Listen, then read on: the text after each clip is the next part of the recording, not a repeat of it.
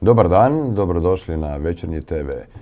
S nama je danas gospođa Tamara Perko, direktorica Hrvatske udruge banaka.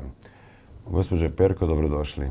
Dobar dan i hvala. tema je puno vremena, nemamo baš, ja bi se to tako, dve ključne teme. Prva je ono što muči većinu ljudi u Hrvatskoj posljednjih godinu, godinu i pol dana, to su visoke stope inflacije. Kako tumačite ovaj ponovni rast na mjesečnoj razini koji smo imali u kolovozu, ponovni rast inflacije?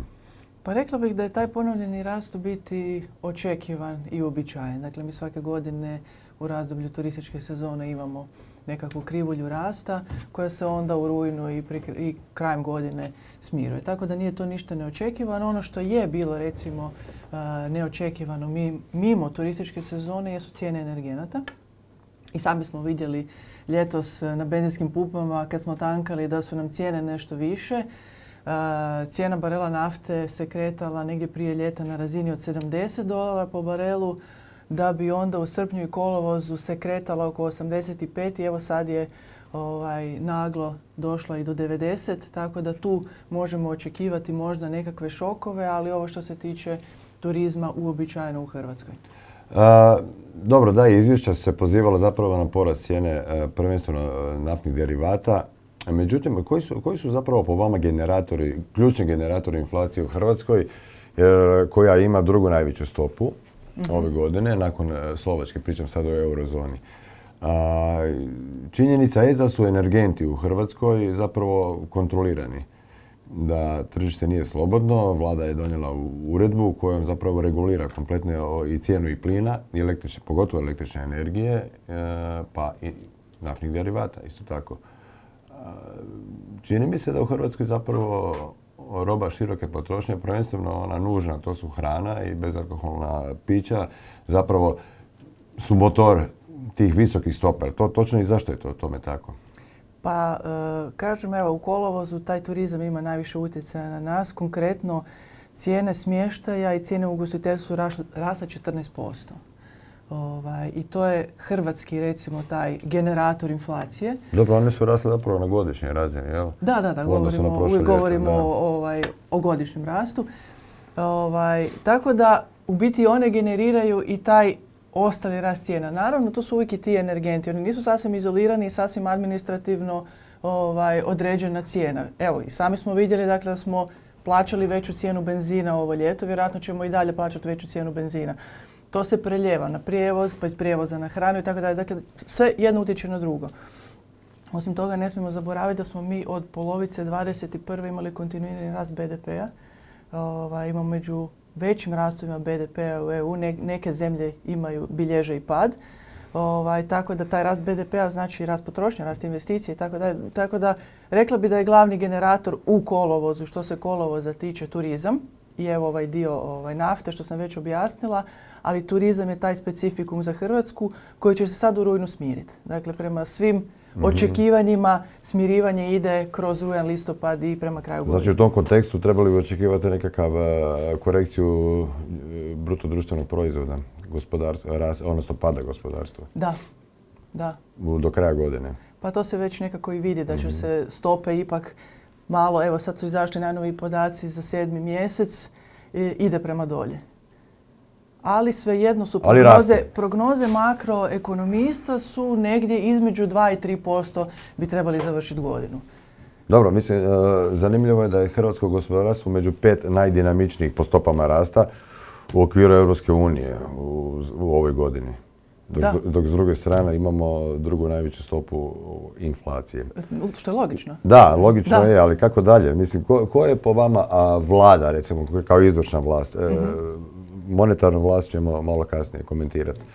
Koje alate ima vlada i kako može uopće e, utjecati na to? vlada ima alate, ali ona osnovna premisa da je Hrvatska biti mala i otvorena zemlja. Dakle, ti alati su ograničenog dometa. Ne može vlada djelovati svojim alatima i da se to vidi samo u Hrvatskoj, a da budemo totalno izolirani od vanjskih utjecaja. Inflacija je globalna. Hrvatska vlada je upotrijebila neke od alata koje ima na raspolaganju. E, vidjeli smo značajne socijalne transfere, vidjeli smo kao što ste i sami spomenuli nekakvo limitiranje e, cijena energenata, bilo je čak i administrativno limitiranje određenih cijena hrane. Međutim, naravno tu treba biti oprezan s obzirom da smo mi u tržišnoj ekonomiji. Tako da sve u svemu gledajući mišljenje, recimo, ajde, većine ekonomista je da su mjere uglavnom uspješne, naravno da se razlikuju, neki će reći da su neuspješne, ali ja, ja bih rekla da nekakva većina će se ipak složiti da je vlada djelovala u dobrom smjeru.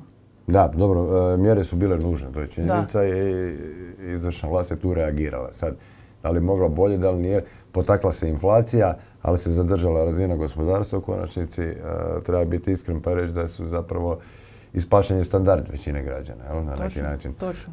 Iako on realno, realno pada koliki sad odnos e, prosječno gledano rasta osobnih dohodaka u Hrvatskoj i u odnosu na inflaciju, mislim, to je tu negdje, ali opet jedno gura drugo. Gdje koje je rješenje? Čak i veći.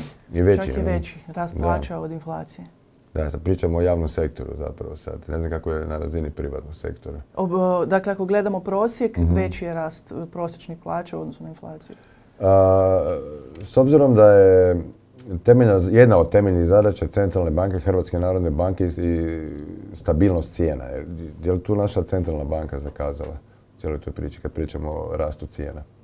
Ne bih rekla da je zakazala. Ovaj, ko što znamo od 1. siječnja smo dio monetarne unije. Dakle, politike ECB-a jednako politike HNB-a, one se preljevaju mm. preko HNB-a u Hrvatskoj. I opet ću reći, mala i otvorena zemlja, globalna inflacija, HMB tu nema nekakvih posebnih specijalnih alata u odnosu na ostale e, za održavanje stabilnosti cijena. Dakle, imamo uvezenu inflaciju.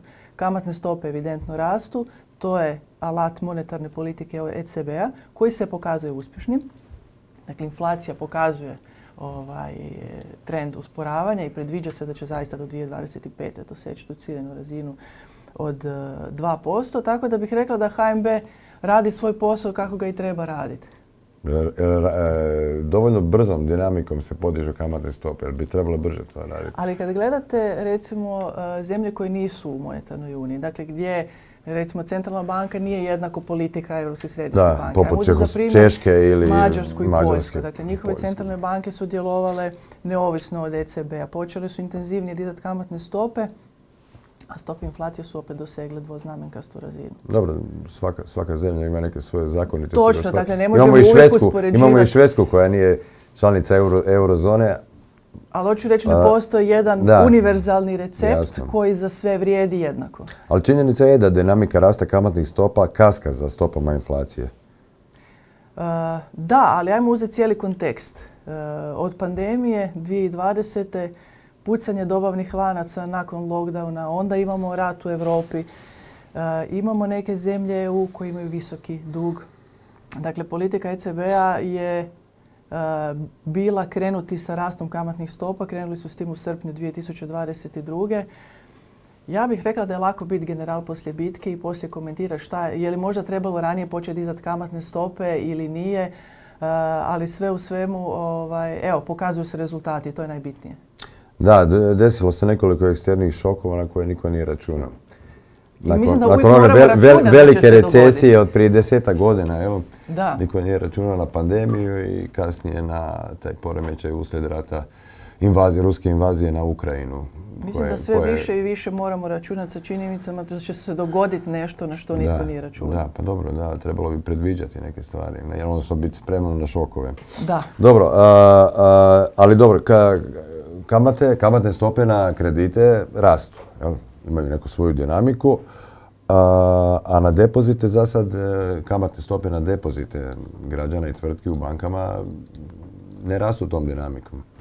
Evo, drago mi je da ste me to pitali jer to se dosta često, ovaj, dosta često se ta teza provlači kroz medije. ajmo razgovarati o brojkama i mhm. podacima konkretno. Evo, ako gledamo ovaj, lipen 23. odnosno na lipen 22. Rast kamatnih stopa na depozite, ajde govorit ću na prvu decimalu, 0,9. Rast kamatnih stopa na stambene kredite 0,8. Rast kamatnih stopa na nenamjenske potrošačke kredite 0,9. Dakle, vidimo gotovo savršenu korelaciju rasta. Srpanj, srpanj. Rast kamatnih stopa na kredite 0,7, rast kamatnih stopa na stambene kredite 0,7, rast kamatnih stopa na nenamjenske 0,9. Dakle, prati. Rast mhm. kamatnih stopa na depozite prati rast kamatnih stopa na kredite. To je bitno napomenuti. Dakle, aktivne pasivne kamatne stope, aktivne i pasivne kamatne stope su usklađene u svom rastu. Ono što je bitno napomenuti, uh, osim toga da prati, je i činjenica da Hrvatska uh, ima među najnižim kamatnim stopama na kredite u Europi. Dakle, mi smo danas u situaciji da su kamatne stope na stambene kredite u Hrvatskoj niže nego kamatne stope na stambene kredite u jednoj Njemačkoj. Da, nije to čudno malo? S obzirom da je kamata zapravo izraz rizika plasmana novca. Donedavno nezamisliva situacija, ali kad gledamo određene kategorije kredita, mi smo tu uvijek između 4-5 zemalja koji imaju najniže kamatne stope.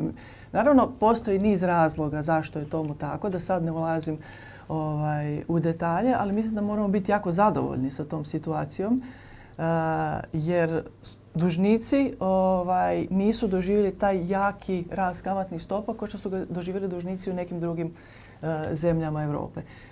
Taj rast je primjetan. Kao što sam sad rekla, mm statistički podaci su takvi kakvi jesu, dakle kamatne stope rastu, on je primjetan, ali on je postepen u Hrvatskoj. Puno blaži nego u nekim drugim zemljama EU. Onim na kojima smo mi donedavno voljeli ovaj, ugledati i reći a zašto mi nemamo kamatne stope kao u Njemačkoj. Evo danas nam je drago da nemamo kamatne stope kao u Njemačkoj jer imamo suprotan trend. mislim, primjećujem zapravo da potrošače ljude, građane, obične ljude smeta činjenica da banke na deponirane viškove u HNB-u dobivaju kamatnu od 3%, dok su kamate na depozite građana još uvijek ispod 1%. I zapravo banke imaju višak likvidnosti, naravno, sustav je vrlo likvidan, to moramo mhm. naglasiti, siguran, jel, cijeli financijski sustav u Hrvatskoj koji je bankocentričan. I višak likvidnosti se drži, jel, u deponiran u centralnoj banci. I na to se dobiva 3% kamate.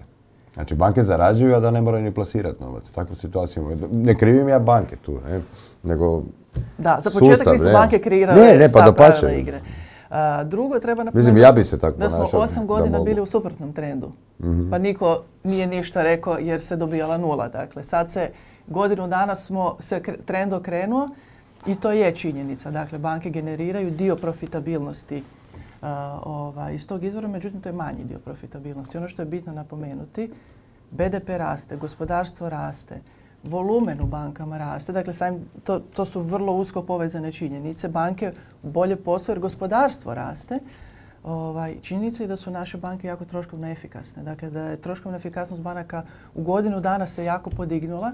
Dakle, to su oni glavni generatori profitabilnosti banaka. Ovo je jedan manji dio.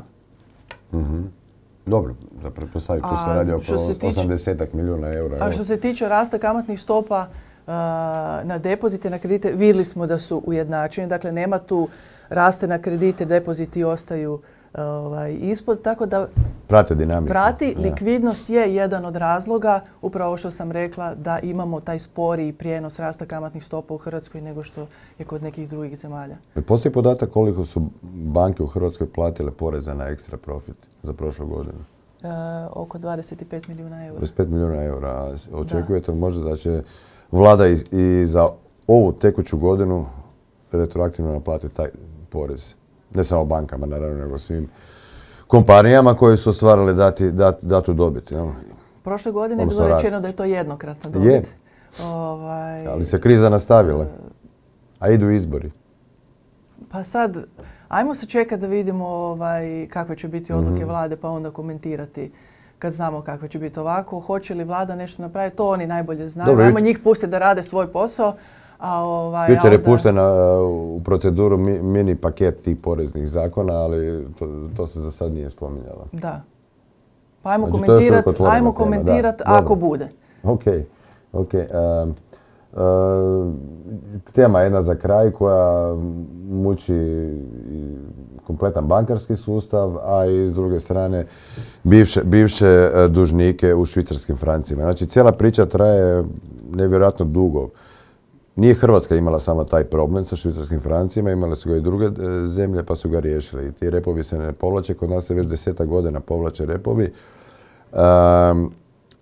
Gdje bivše štediše u švicarskim francima i nakon konvertiranja tih kredita u eure traže neke naknade, obeštećenja i tako dalje. I sve je završilo na Vrhovnom sudu. Vrhovni sud je donio nekakav pravorijek krajem prošle godine, međutim on nije prošao jednu instancu unutar Vrhovnog suda i sad se očekuje konačno mišljenje. Ono je već trebalo biti donešeno, kad će biti donešeno ne. Kako uopće poslovati u takvim uvjetima i, i šta vi uopće očekujete?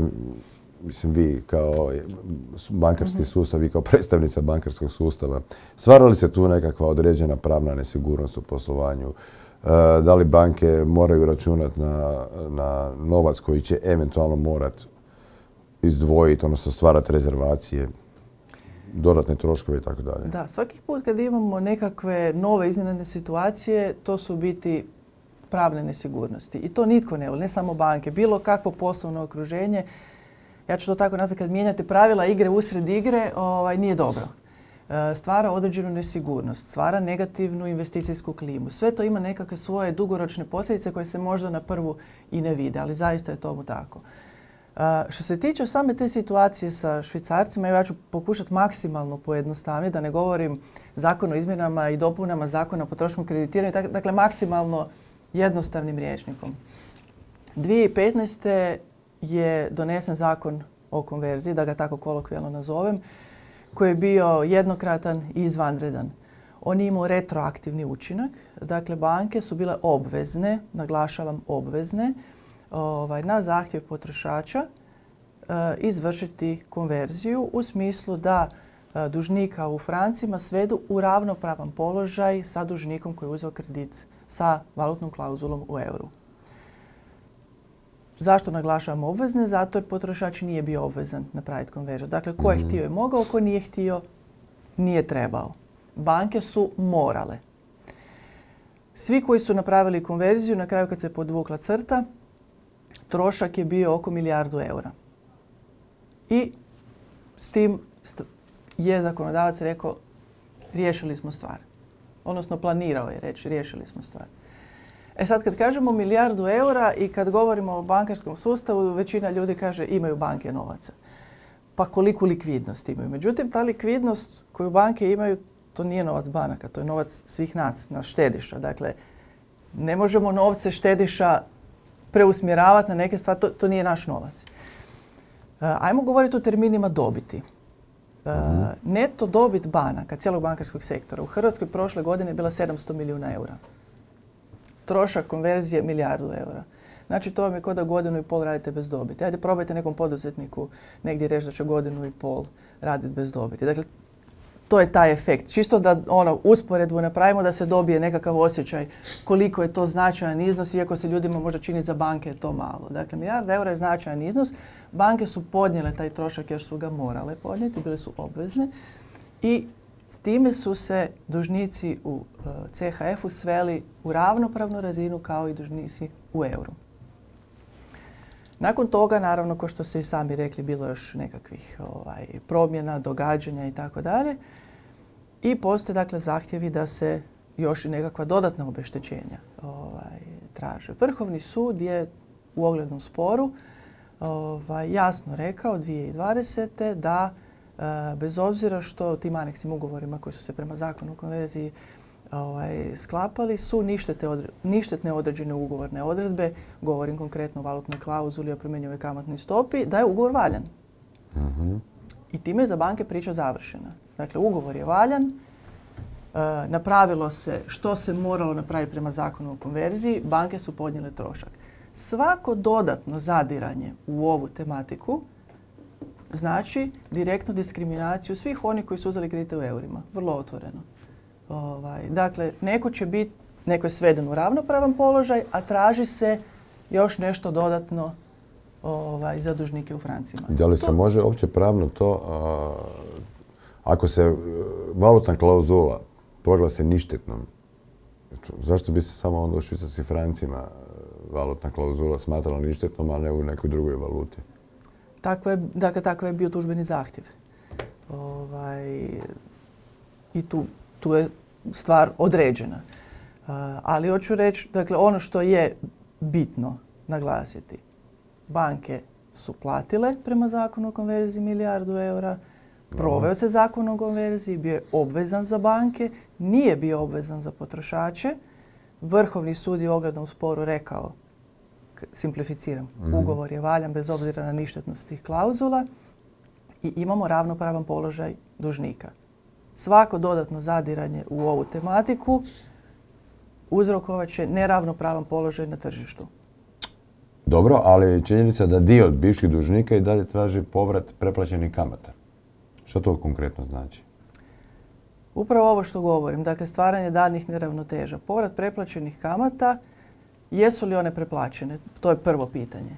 Ovaj, koja kamata je trebala biti? Dakle, nekakav prosječan, prosječna kamatna stopa koja se traži je bila na razini 4,2. Mm Onaj koji je uzimao kredit u eurima ili u kunama nije mogao dobiti tu kamatnu stopu. traži se, dakle, zahtjevi su, ja sad generaliziram, dakle, svaki je poseban, ali, generaliziram. Traži se fiksna kamatna stopa, 4,2, mhm. za cijelo razdoblje. To nije postojalo. Dakle, u tom, u tom trenutku to nitko nije mogao dobiti. Niti euri, niti dužnici u eurima, niti u kunama, a dakle, preplaćene kamate se referiraju na to da se preplatilo u odnosu na tu nekakvu razinu. Dakle, želi se svesti dužniku švicarcima na položaj kada imao fiksnu kamatnu stopu na određenoj razini cijelo, u cijeloj razdoblju. To niko nije imao u tom trenutku. To nije odraz ekonomske realnosti tog vremena. Tako, zato smo mi stava da više dalje nema zadiranja u tu temu. Ali, ali i, ovaj pravorijek Vrhovnog suda iz kraja prošle godine, koji još nije konačan, isto daje tim dužnicima u jednom dijelu za pravo. U kojem točno? Mislim, činjenica je da s tom odlukom nisu zadovoljne ni banke, a ni potrošači. Pa banke nisu zadovoljne zato jer se tema uopće, dakle za nas je tema zaključena. Po nama se sve reklo.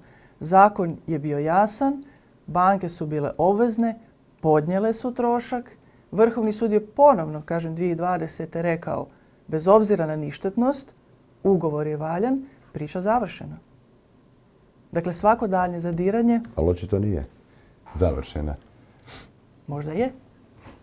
Dobro, to ćemo znati kad, kad vidimo odluku Vrhovnog suda. Dakle, kažem, svako daljnje rasprava, zadiranje, stvara upravo što ste i sami na početku rekli, jednu klimu pravne nesigurnosti koja nije dobra za cijelu Hrvatsku. Ne govorim samo za bankarski se možemo složiti da, da, se stvar odugovlači nevjerojatno dugo i da nije dobro zapravo za nikog. Za nikog, točno tako. A pogotovo ne za poslovnu klimu.